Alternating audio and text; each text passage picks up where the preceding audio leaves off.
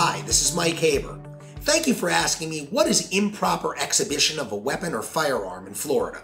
Florida Statute 790.10 makes it a crime for a person to exhibit a weapon or a firearm in a rude, careless, angry, or threatening manner in the presence of one or more other persons.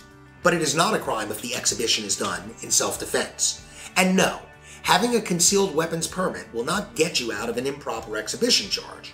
Why? Because the whole idea of having a concealed weapons permit is to keep your weapon hidden from plain view. Interestingly, no matter how many people may be present when you improperly exhibit your weapon or firearm, so long as the incident occurs in one single criminal episode, in Florida, you can only be convicted of one count. Improper exhibition is a first degree misdemeanor. It's punishable by up to 364 days in a local jail. Thank you for your question. I appreciate your asking it, and I invite you to ask more.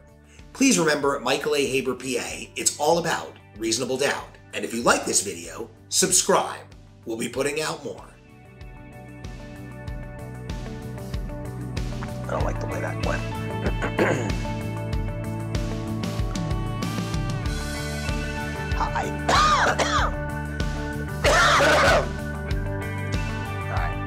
I got it.